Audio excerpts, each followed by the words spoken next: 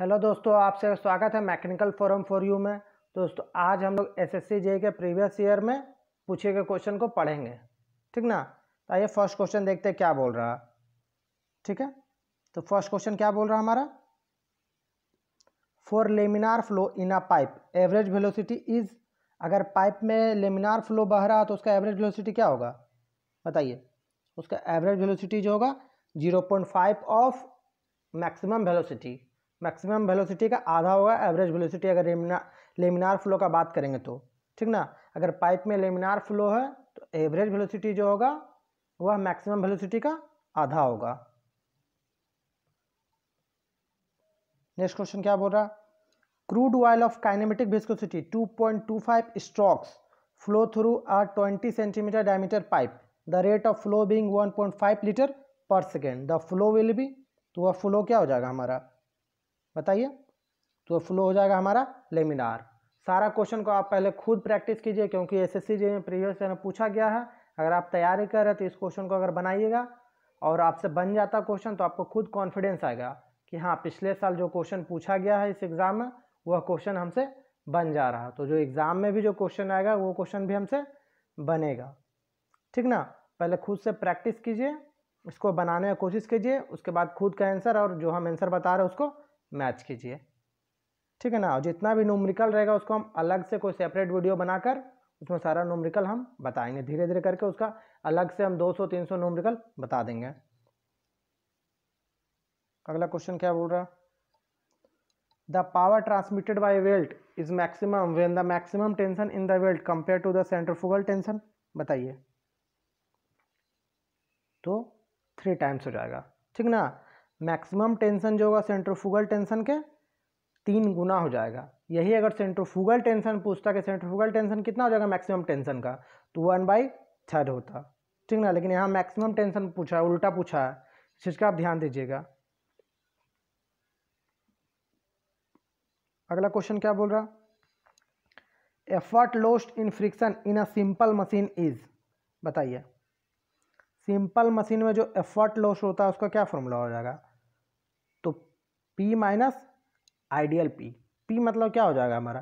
P मतलब applied force जो force को हम लोग अप्लाइड कर रहे हैं मतलब लगा रहे हैं जो फोर्स को। तो एक्चुअली जो लगा रहे हैं, वो ज़्यादा लगा रहे हैं, ठीक ना? और आइडियली हम कम लगाते हैं। ओके अगला क्वेश्चन क्या बोल रहा? Non uniform ramming of moulding sand में led to the following casting defect बताइए। किस तरह डिफेक्ट होता है non uniform ramming of, ramming of moulding रहता तो स्वेल्स डिफेक्ट होता है। ओके ना? अगला क्वेश्चन। अवेल कॉनमन, यहाँ कॉलमैन होगा, ठीक ना? A Bell Coleman cycle is a तो वेल कॉनमन साइकिल जो है वो रिवर्स्ड जूल साइकिल होता है। ओके? नहीं होता था वीडियो को पॉज करके पहले खुद बना लीजिएगा क्वेश्चन को, उसके बाद फिर आंसर देखिएगा।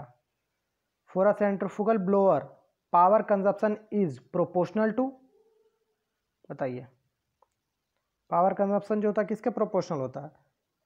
क्यूबिक पावर ऑफ़ आरपीएम के। ठीक ना? इसका मतलब क्या हुआ? हम लोग अगर दुगना करेंगे आरपीएम को तो हमारा पावर जो लगेगा वो एट टाइम्स ज़्यादा लगेगा। क्योंकि क्यूबिक आरपीएम के पावर जो होता है, क्यूबिक क्यूबिक होता है, ठीक ना?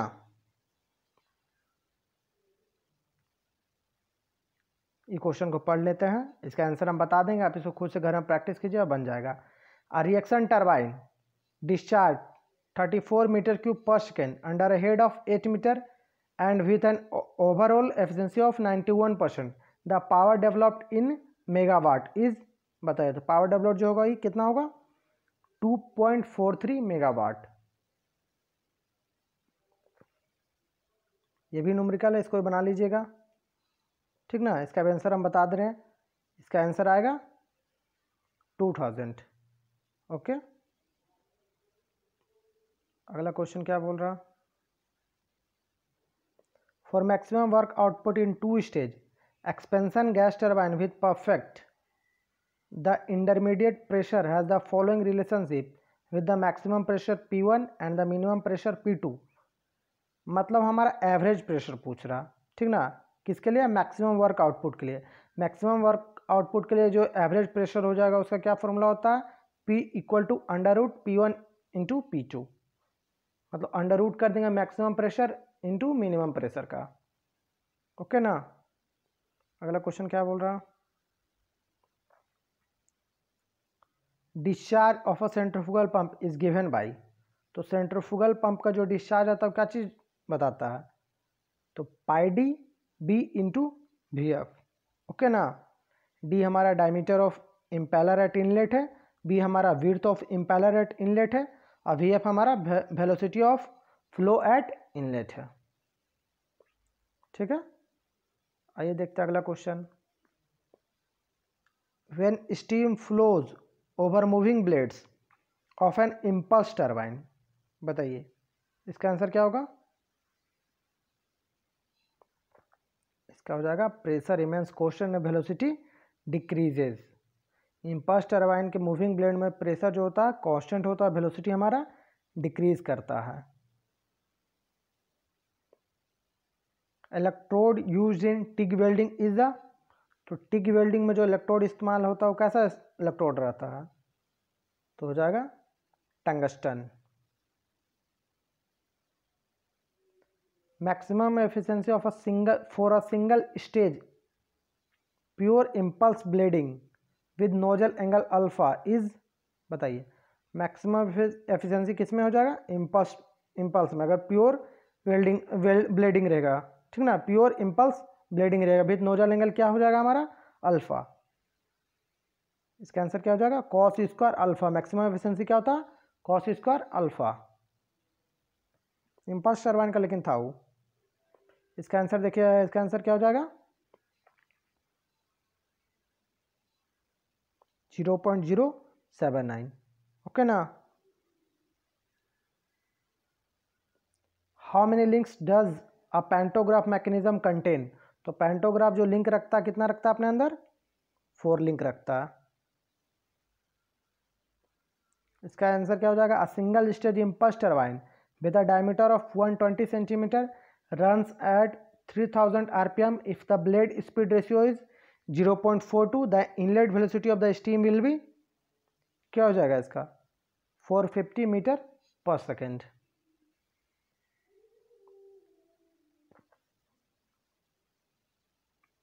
इसका बताइए। Dependent only a Reynolds number question पढ़ दे रहे हम एक बार। For hydrodynamically smooth boundaries the friction factor for turbulent flow is बताइए किस पे डिपेंड करता है? केवल डिपेंड्स ओनली रेनॉल्ड्स नंबर। अगला question. An important factor to be taken into account while designing a core print is बताइए, जब core print का डिज़ाइन करते हैं हम लोग तो इम्पोर्टेंट फैक्टर क्या रखते हैं हम? माउल्डिंग्स एंड कैरेक्टरिस्टिक्स ठीक ना? जब जब भी कोर प्रिंट का डिज़ाइन करेंगे तो मॉल्डिंग एंड करेक्टरिस्टिक्स का हम लोग ध्यान रखेंगे। The flow of water in wash basin through a central opening is an example of, बताइए। ये एग्ज़ाम्पल है फ्री वोटेक्स का। ठीक है?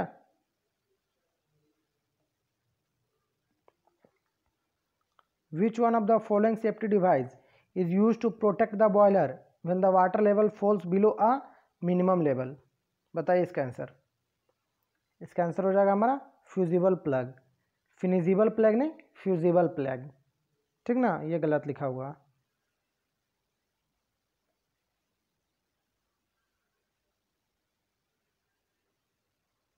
One stroke is equal to ये बताएगा. तो वन स्ट्रोक जो होता है एक सेंटीमीटर स्क्वायर पर सेकंड के बराबर होता है। या टेन का power minus four metre square per second के भी बराबर होता है। दोनों हम बोल सकते हैं। एक सेंटीमीटर स्क्वायर पर सेकंड या टेन का power minus four metre square पर second. One stoke equal to. अगला क्वेश्चन क्या बोल रहा यूलियर्स नंबर्स रिलेट्स। तो यूलर्स नंबर्स क्या चीज़ रिलेट करता है? Inertia force and pressure force. ठीक ना? इलर्स नंबर का जहाँ बात करेंगे तो इनर्सिया फोर्स और प्रेशर फोर्स आएगा।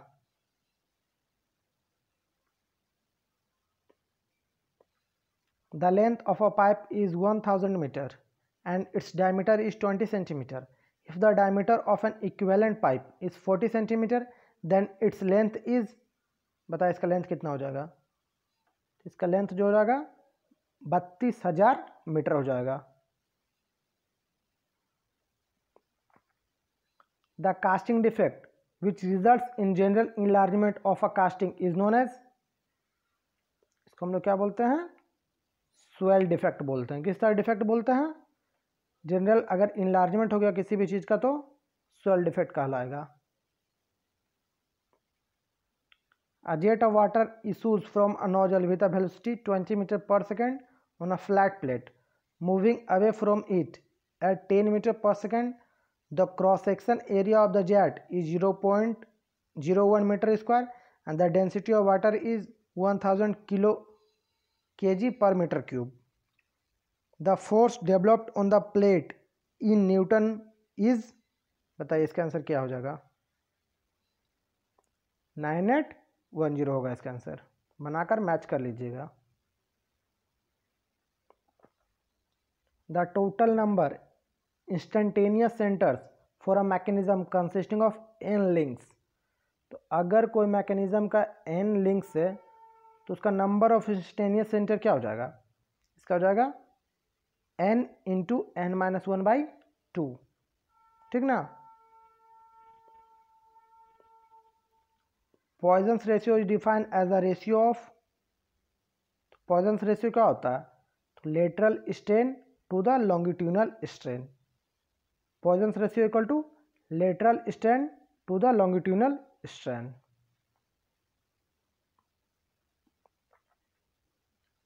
the product of circular pitch and the diametrical pitch अगर सर्कुलर पिच को डायमेट्रिकल पिच को गुना करेंगे तो क्या चीज़ आएगा हमारा वैल्यू पाई आएगा। कैसे?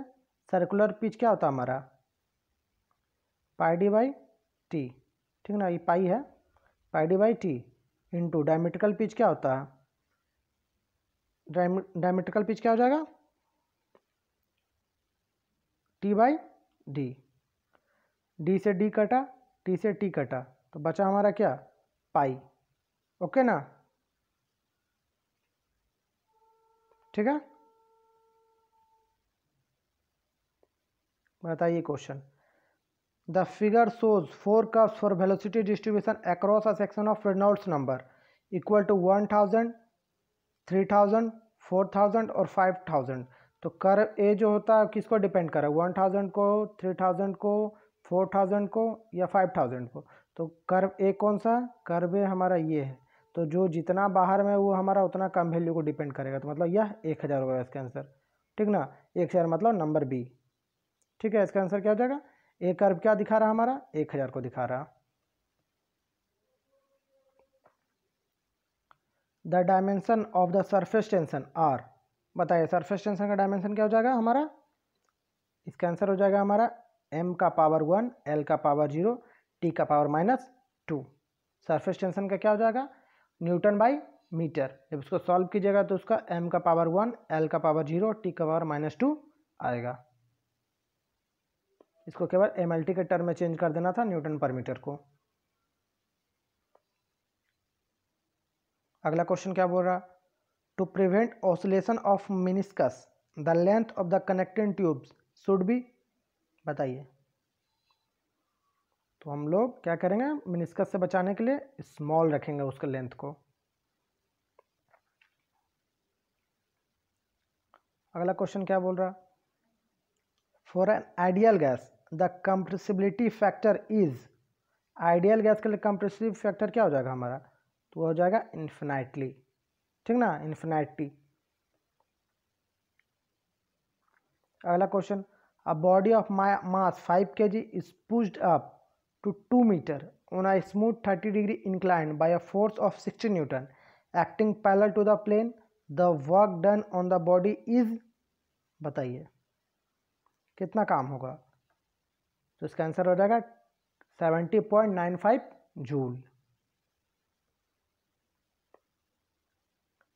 Reheat factor for a multi-stage steam turbine is the ratio of reheat factor जो होता है cumulative enthalpy drop to the total enthalpy drop ठीक ना?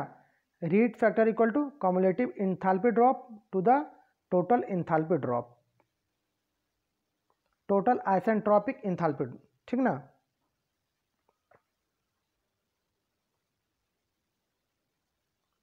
The purpose of the flywheel in an IC engine is बताइए।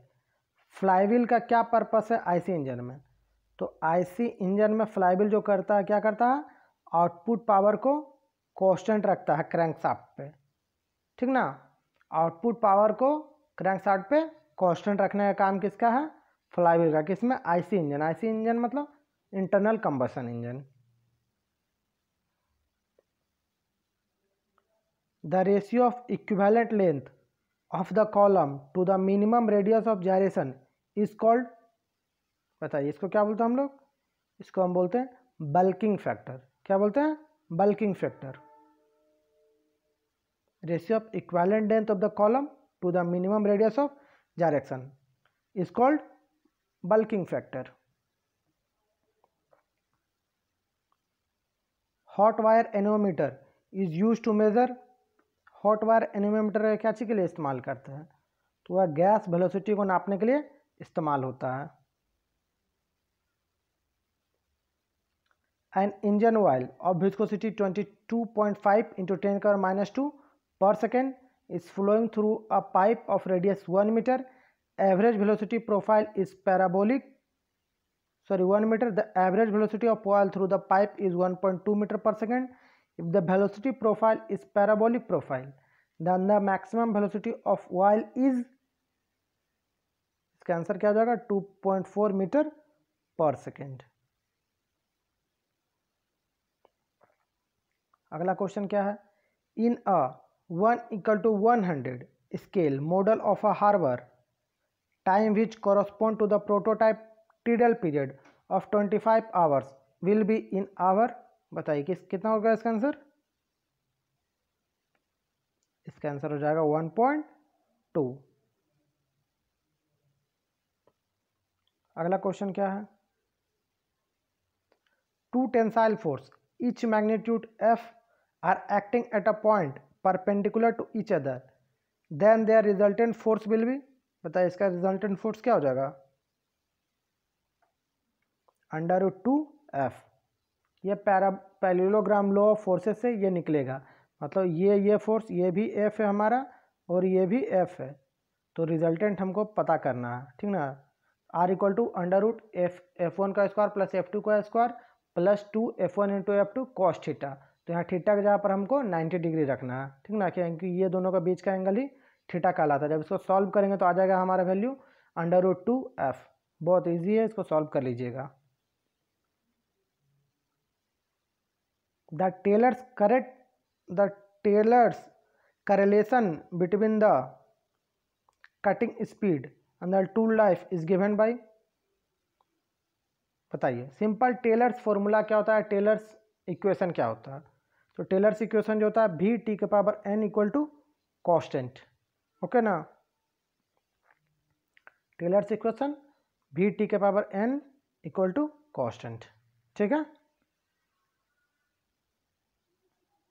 The coefficient of discharge velocity and contradiction ठीक है मतलब coefficient of discharge coefficient of velocity और coefficient of contraction sorry contradiction है contraction coefficient of discharge मतलब C D coefficient of velocity मतलब C V coefficient of contraction मतलब सी सी क्या होगा इसका फॉर्मूला तो C D equal to C C into C V coefficient of discharge equal to coefficient of velocity into coefficient of contraction.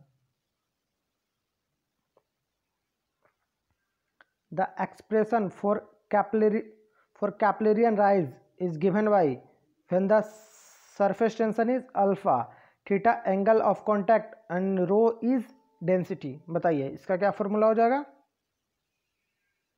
सोचिए तो H equal to four sigma cos theta by rho G D ठीक ना? कितना height बढ़ता? Four sigma cos theta by rho G D notch is a device use for measuring बताइए।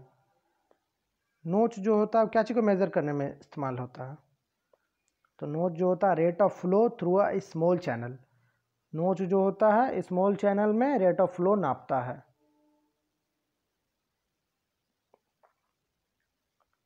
which cross section of a cantilever beam, which is loaded with udl can give economical design बताइए। तो जहाँ भी economical design का बात करेगा हमारा U D L के केस में तो आई सेक्शन पे हम टिक कर देंगे। ठीक ना?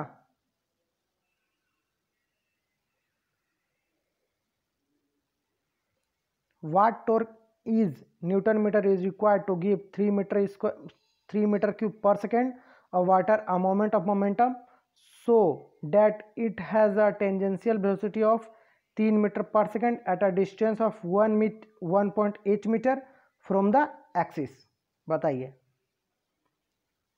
इसका सोलह हज़ार दो सौ sixteen thousand two hundred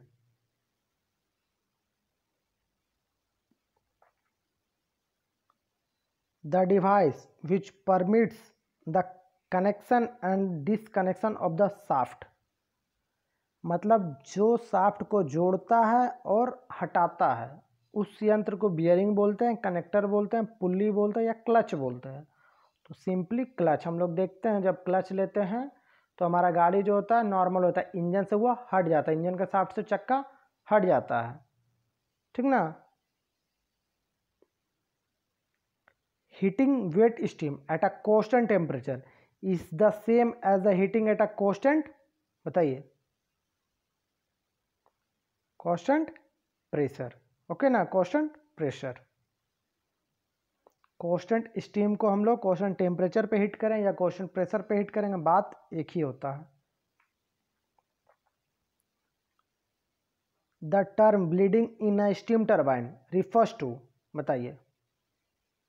जो ब्लीडिंग होता है, वो क्या होता है?